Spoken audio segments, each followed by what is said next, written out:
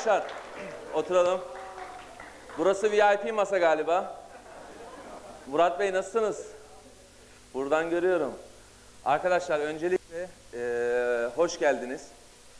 İki gündür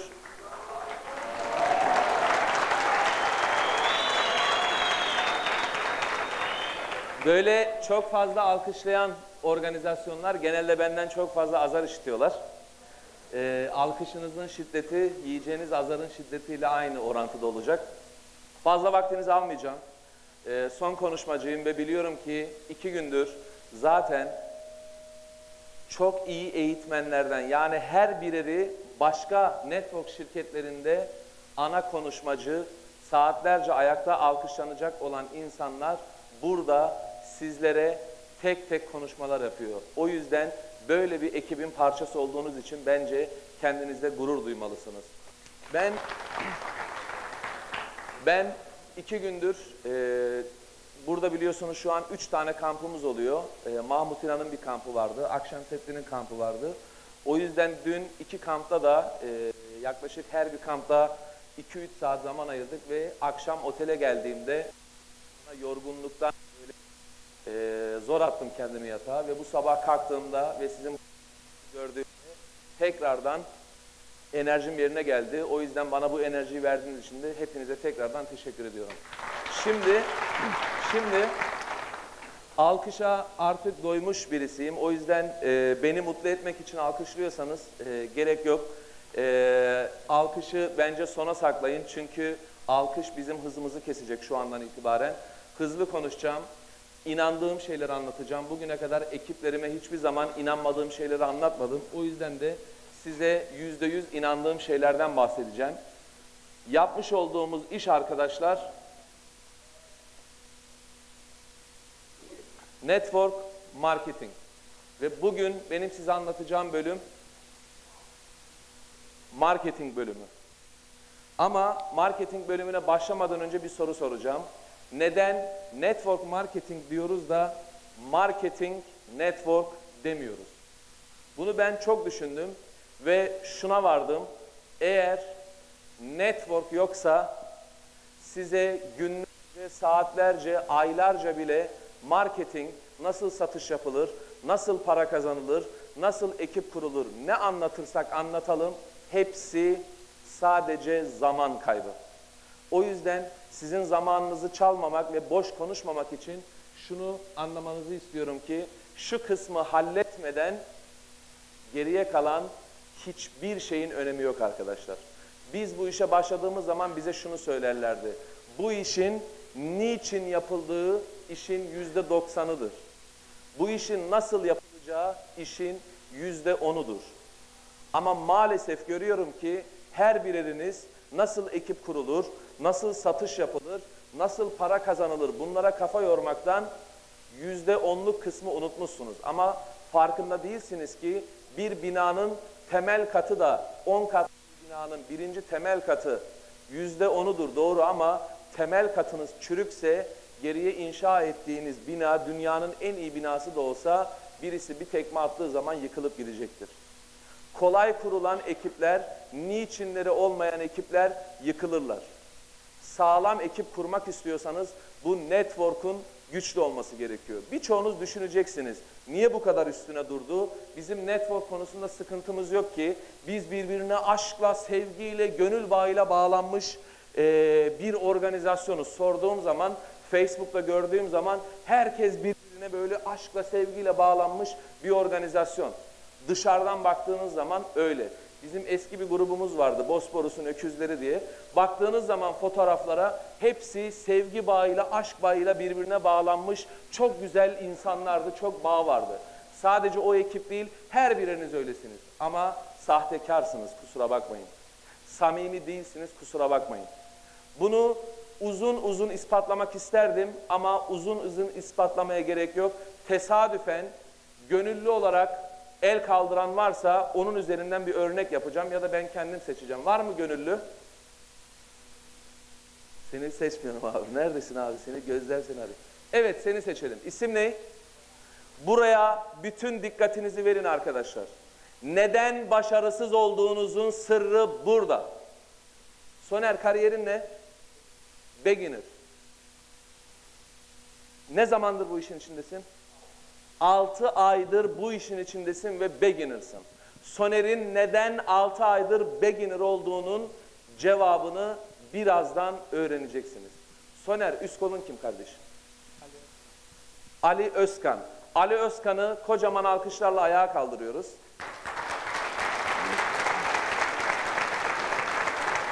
Şimdi alkışla eleştiri aynı orantıdaydı. Şimdi mikrofonu Ali'ye ver ve Ali'yi bize bırak sen yerine otur güzel kardeşim. Şimdi Ali'ye bir soru soruyorum. İsmin neydi? Soner. Ali'ciğim, Soner bu işe başladığı zaman, Soner'i bu işe aldığın zaman Soner'e sana yardımcı olacağım, sana para kazandıracağım, beraber güçlü bir organizasyon kuracağız sözüyle, vaadiyle bu çocuğu ekibine aldın. Doğru mu? Doğru. Peki sana tek bir soru soruyorum. Bu çocuğun 6 aydır bu işin içindeyse 2015 yılında yeni yıla girerken defalarca yazdık hedeflerinizi, hayallerinizi yazın diye. Soner kardeşimizin 10 tane hedefini önce hangisine ulaşmak istediğinden başlayarak sırasıyla sayabilir misin Ali'cim? Yok. Kocaman bir alkışla Haliye. İkinci soruyu, bu alkış ironi bu arada Ali. İkinci sorumuzu soruyoruz. Soner kardeşimizin annesinin ismini öğrenebilir miyim? Bilmiyorum. Bilmiyorsun. Soner'in dünyada en çok sevdiği varlık muhtemelen annesidir. Doğru mu kardeşim? Ama daha ekibimizdeki insanın annesinin ismini bilmiyoruz. Üçüncü sorumu soruyorum.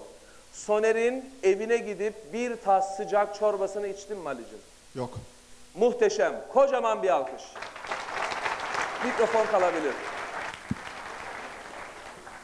Bu sormuş olduğum üç soruyu sadece o arkadaşlara değil, siz aslında bu alkışları yaparken kendinizi alkışladınız. Çünkü bu soruyu bu salonda olan hanginize sorarsam sorayım, en üst mega liderinden tutun da, mega starından tutun da en aşağıdaki beginner'ına kadar hepinizin vereceği cevaplar bu verilen cevaplardan farklı olmayacak. Belki bazılarınız yakın oturduğunuz için gidip bir tas çorbasını içmişsinizdir. Ama hiçbiriniz organizasyonunuzdaki insanların ailesini, sevdiklerini, hayallerini umursamıyorsunuz. İnsanlara ben ekibime para kazandırmak için bu işi yapıyorum. Ben ekibimi çok seviyorum. Biz sevgi bağıyla birbirine kenetlenmiş bir aileyiz diye yalanlar söyleyip gerçekte sadece kendi kazancınızı düşünüyorsunuz. Ekibinize sunum yap, davet al diye ultimatomlar veriyorsunuz. Ekibinizin salak insanlardan oluştuğunu, tembel insanlardan oluştuğunu düşünüyorsunuz. Onlara kızıyorsunuz, azarlıyorsunuz, eleştiriyorsunuz.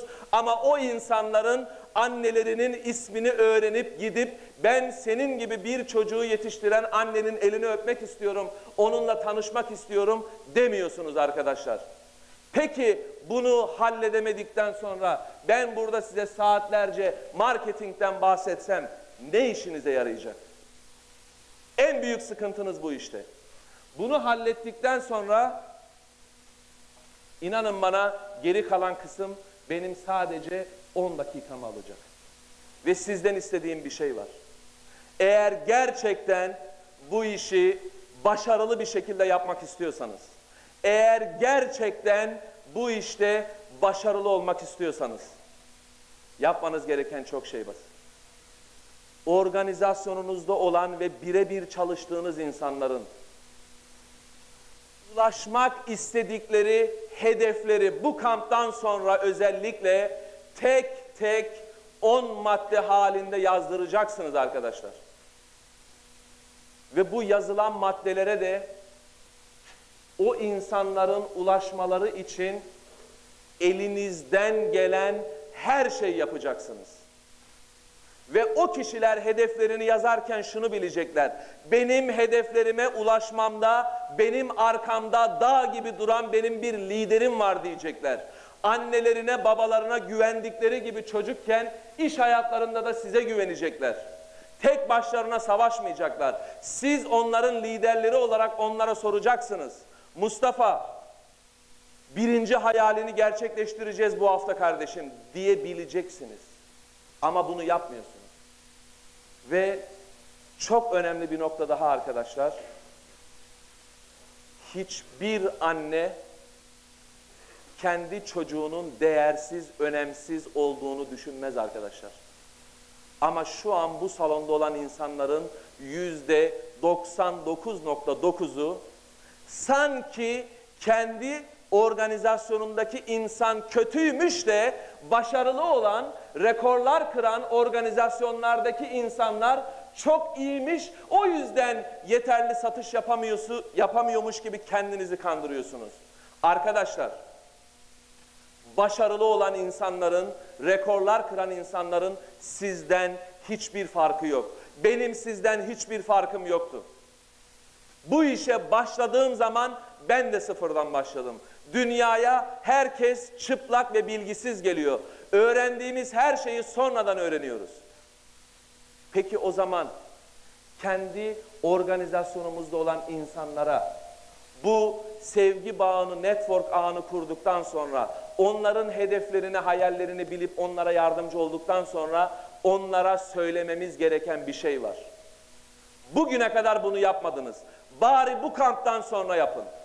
Bir annenin kendi çocuğunu dünyanın en önemli çocuğuymuş gibi görmesi ve sevmesi gibi eğer bir insan sizin organizasyonunuzdaysa, size güvenip sizinle birebir çalışıyorsa geçin karşısına. Oturun. Gözlerinin içine bakın.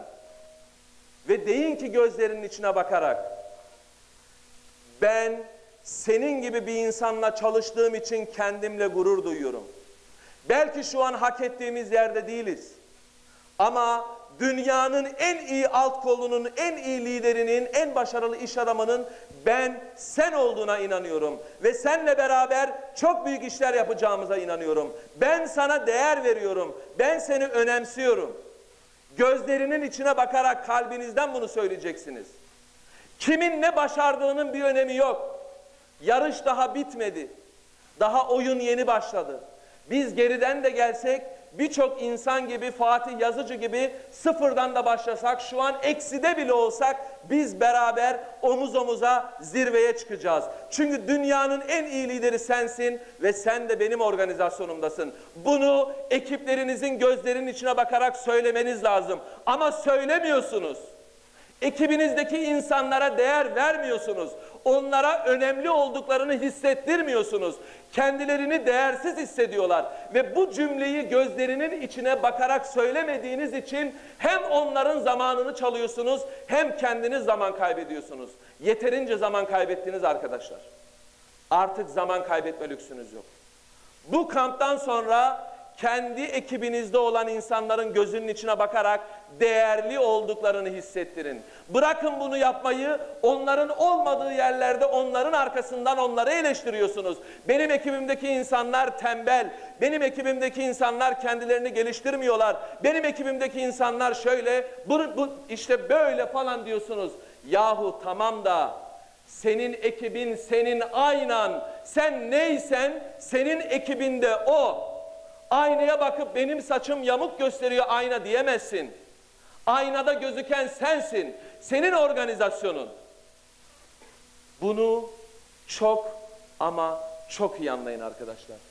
İşte bu iki şeyi yaptıktan sonra ekibinizin hayallerini, hedeflerini kendi hayalleriniz, hedefleriniz gibi benimseyip onlara değerli olduklarını hiç kimse için olmasına gerek yok. Sizin için değerli olduklarını. Çünkü gerçekten öyleler. Gerçekten sizin organizasyonunuz sizin için bu salonda sizin organizasyonunuzda olmayan herkesten daha değerli olmalı. Ama siz başka ekiplerdeki insanlara her türlü iltifattan, övgüden çekinmezken kendi organizasyonunuzdaki insanlara değerli olduklarını maalesef hissettiremiyorsunuz. Peki kendini değersiz hisseden bir insan ne yapabilir? Siz kendinizi değersiz hissediyorsanız ne yapabilirsiniz? Her şeyden önemlisi kendinizin de değerli olduğunu asla unutmayın arkadaşlar. Çünkü bu hayatta siz gözlerinizi kapattığınız zaman sizin hayatınız bitiyor. Hayat diye bir şey kalmıyor geriye. Bu hayat sizin hayatınızsa bu hayattaki en önemli insanın da siz olduğunuza inanmanız lazım. Sizin saatiniz dünyanın en güzel saati olması lazım. Sizin arabanız dünyanın en iyi arabası olması lazım. Başkalarının ne düşündüğünün anlamı, önemi yok. Dünyanın en iyi annesi kimin annesi denildiğinde hepiniz benim annem diyebiliyorsunuz. Sahip olduklarınızın kıymetini bilin. Çünkü siz değerlisiniz ve sizin organizasyonunuzda olan insanlar da değerlidir. Umarım bu kısmı anlamışsınızdır. Şimdi geliyoruz biraz daha eğlenceli kısma.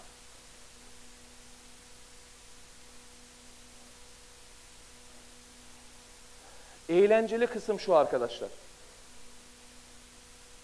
Sizden sadece 3 ayınızı isteyeceğim.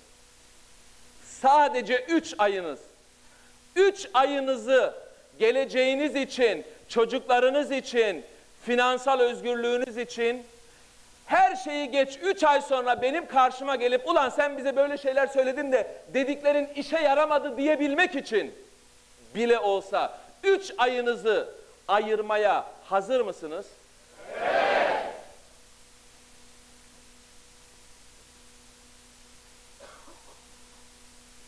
Sadece 3 ayınızı alacağım. 90 gününüzü arkadaşlar. Ve bu 90 günde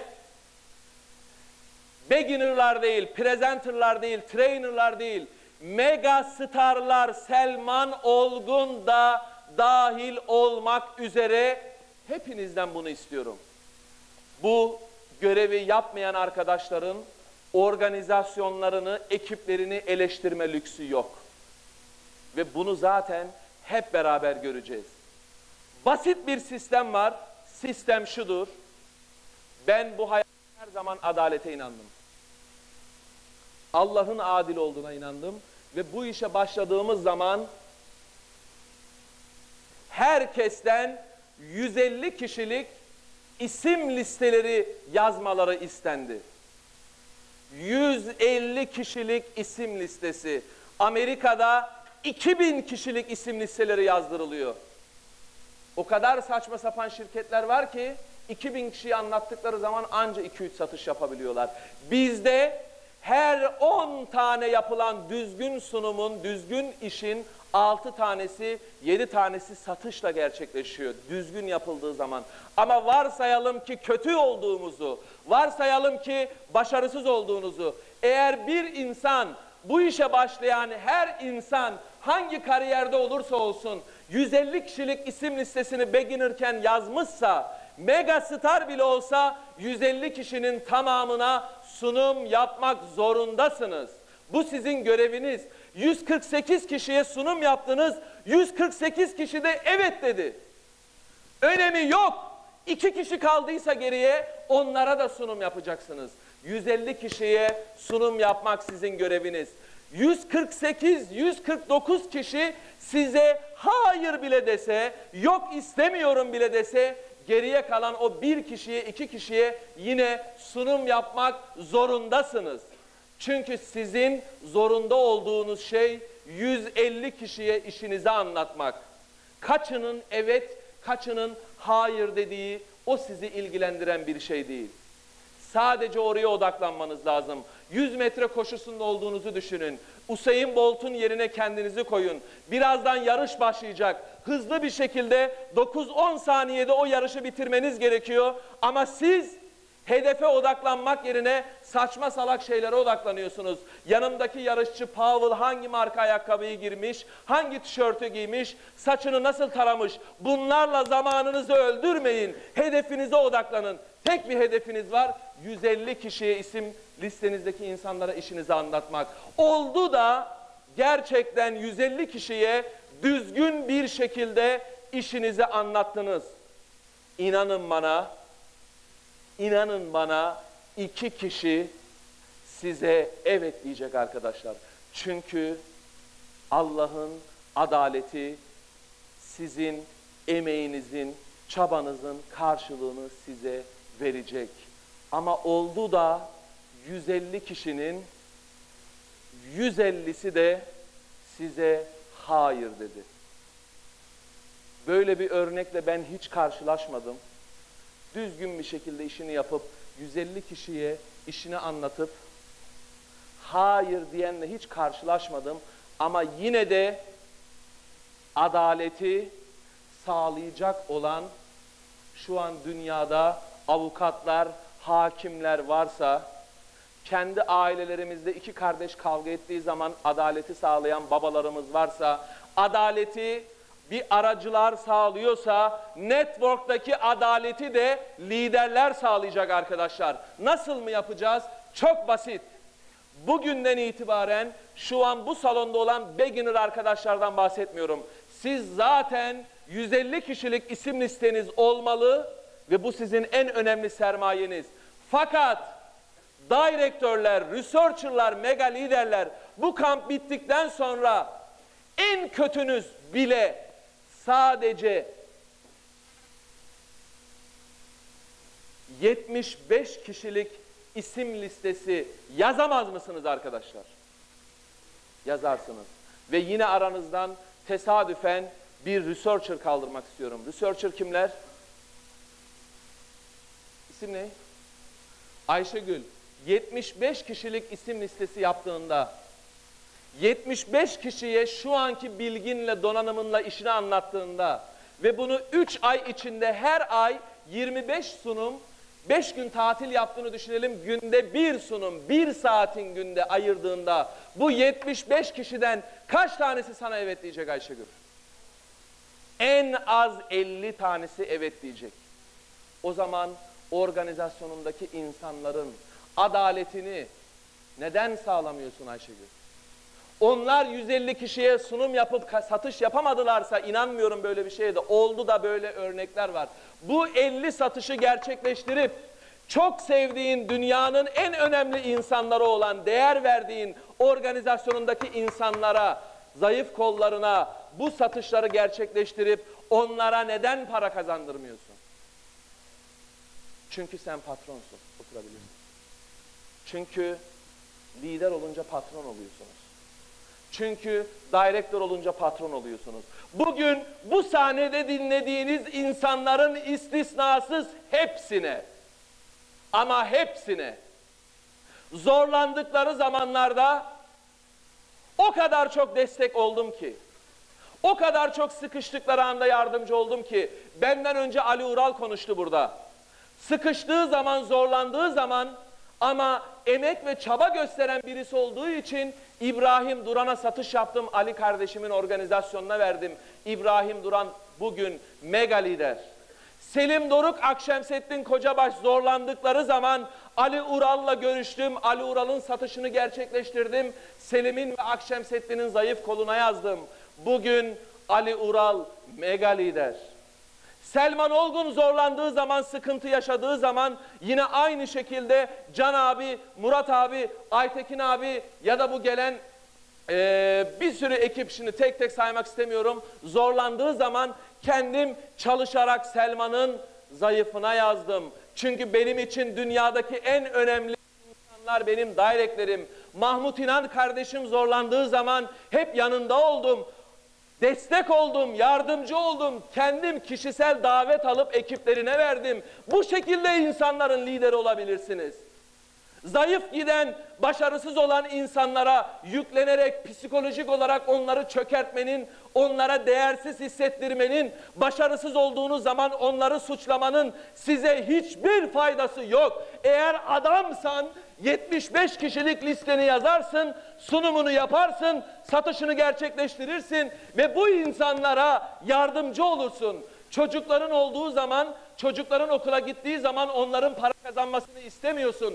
Üniversiteyi bitirene kadar onların harçlıklarını veriyorsun, kıyafetlerini alıyorsun, tatil ücretlerini veriyorsun. Çünkü seviyorsun onları çocukların olduğu için. O zaman siz alt kollarınızı sevmiyor musunuz da şu kadar bir şey yapıp kendiniz sıfırdan 75 kişilik isim listesi hazırlayıp sunum yapıp satış yapıp onlara destek vermiyorsunuz. Utanın kendinizden. Aynaya bakın ve yüzleşin hatalarınızla. Yüzleşin eksikliklerinizle ve artık hiç kimseden bahane duymak istemiyorum bu ekipte.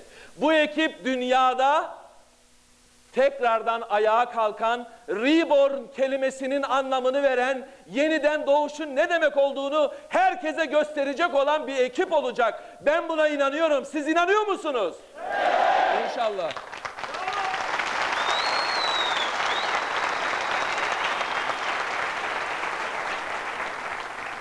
Şu an bu salonda bine yakın insan var bildiğim kadarıyla. Kaç kişi salon? 800. Varsayalım ki 300 tanesi tesadüfen burada olan gelip geçici insanlar olsun. Varsayalım. En kötü hesaplamayı yapalım. En kötü hesaplamayı yapıyoruz ve burada misafir olan professional team var. Benim zayıf kolum, para kazandığım tek ekibim. Neredesiniz? Güzel. Şu salondaki şurada el kaldıran 8-9 kişi dışında hiçbirinizden ben komisyon kazanmıyorum. Hepiniz işi bıraksanız kazancım 1 dolar düşmüyor. Size bağırmalarım, size kızmalarım sizden para kazanmak için değil. Ben burada para kazanmak için yokum arkadaşlar.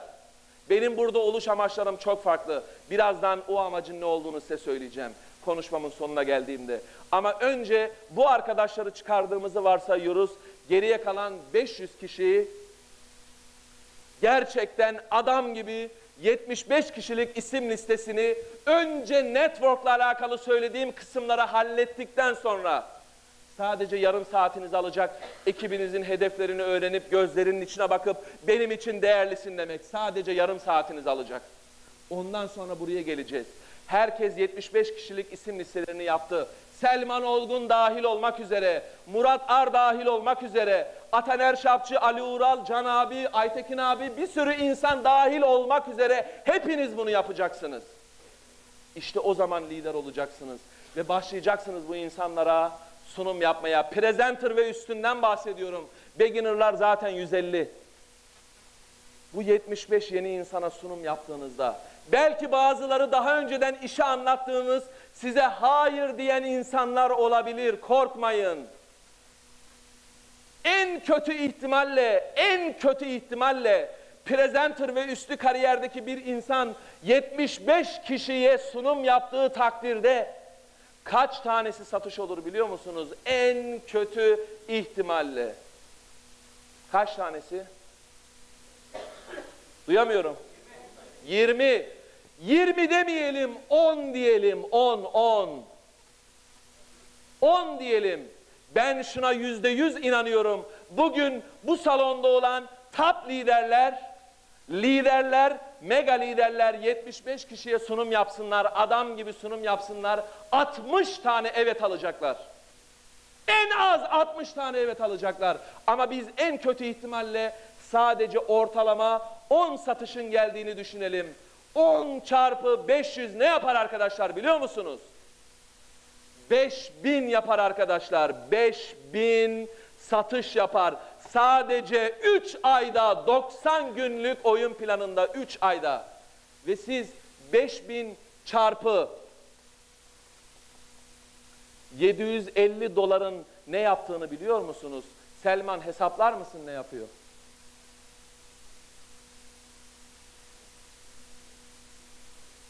3 milyon 750 bin dolar satış yapıyor. Ve 3 milyon 750 bin dolar satış senin bu organizasyonundan gerçekleştiği zaman sen bugün şu anki sıralamaya göre ve şu anki satışınla dünyada birinci sıraya yükseleceğinin farkında mısın Selman? Siz de farkında olun. O Afrika listesinde bu ekipten en az 20 kişinin şu anki sıralamaya göre o listede olacağının farkında mısınız? Değilsiniz. Eğer farkında olsaydınız ben artık presenter oldum, trainer oldum, director oldum, researcher oldum, bir bok oldum diye düşünüp sabahtan akşama kadar patronculuk oynamazsınız.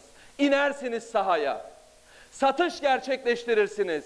Gerçekleştirdiğiniz satışları organizasyonunuzdaki insanların Zayıf kollarına, güçlü kollarına nerelerde ihtiyaç varsa yerleştirirsiniz. Onlara para kazandırırsınız. Onlara iyilik yaparsınız. Hayvan bile kendisine iyilik yapan insanlara zarar vermiyor arkadaşlar. Sizin organizasyonunuzda olan insanlar hayvanlardan daha aşağılık insanlar mı? Eğer gerçekten öylelerse niye aldınız ekibinize onları? Almasaydınız. Ama ben inanmıyorum öyle olduklarını. Eğer organizasyonunuzdaki insanlarla sıkıntınız varsa onlara destek olmadığınız için, onların iyilikleri için çaba göstermediğiniz için, sıkıştıkları zaman, zorlandıkları zaman onlara destek vermediğiniz için, gidip iki dakika muhabbet etmek, on dakika muhabbet etmek, Facebook'tan ileti yazmak bunlar değildir destek. Destek satışı gerçekleştirip ekiplerine, organizasyonlarına vermektir. Bunu yapmaktır. Zor olan bu. Ama siz bunu yaptığınız zaman o insanlar da ömürlerinin sonuna kadar yapmış olduğunuz bu iyilikleri unutmayacaklar. Olur da unuturlarsa onlar nankör olacaklar. Ama siz sadece kendini düşünen bencil insan olmayacaksınız. Sizin vicdanınız rahat olduktan sonra başkalarının sizin hakkından ne söyledikleri inanın bana hiç umrunuzda olmasın. Bütün kağıtları kullanmışlar. Bana kağıt bırakmadılar. O yüzden toplantıyı bitirmek zorundayım. Hakkınızı helal edin. Şaka yapıyorum. Ve son olarak söylemek istediğim bir şey var az önce de değindiğim gibi. Arkadaşlar, buna ister inanın ister inanmayın. Bu ekibe zerre kadar ihtiyacım yok benim. Sadece Fatih Yazıcı organizasyonu benim flash out olmama yetiyor. Ve birçoğunuz bu kampa gelirken şu düşüncelerle geldiniz. Oh kampa gideceğiz, para kazanacağız. Liderler gelecek, eğitimler yapacak, biz oturacağız. Ekipteki beginnerlar dinleyecek, 3-5 satış yapacaklar. 2000-3000 dolar para kazanacağız. Bu kafadasınız birçoğunuz. Arkadaşlar, bir gün gelecek, para kazanmak için değil, ilham olmak için sahnelere çıkacaksınız. İnsanlara yardımcı olmak için sahnelere çıkacaksınız. Kazandığınız para size yetmeyecek. İyiliklerde bulunmak isteyeceksiniz. Hayır kuruluşlarına yardımcı olmak isteyeceksiniz. İhtiyacı olan insanlara akülü arabalar almak isteyeceksiniz. İnsanların sıkıntılarına yardımcı olmak isteyeceksiniz. Neden yetiniyorsunuz o zaman kazandığınız 3-5 bin dolarlarla? Neden büyük düşünmüyorsunuz? Neden kendinizi, kapasitenizi kısıtlıyorsunuz arkadaşlar? Yapmayın. Yapmayın arkadaşlar. Dünyanın en iyisi olabilmeniz için henüz geç değil. Burada 90 yaşında insan yok. 70 yaşında bu işe başlayıp 70 yaşında milyon dolarlık organizasyon kuran insanlar tanıyorum ben. Siz kaç yaşındasınız daha? Daha yolun başındasınız ama önemli olduğunuzu bilmeniz gerekiyor. Değerli olduğunuzu bilmeniz gerekiyor. İnsanların, ailenizin, sevdiklerinizin, çocuklarınızın sizden beklentileri olduğunun farkında olmanız gerekiyor. Çalışmanız gerekiyor, ter akıtmanız gerekiyor.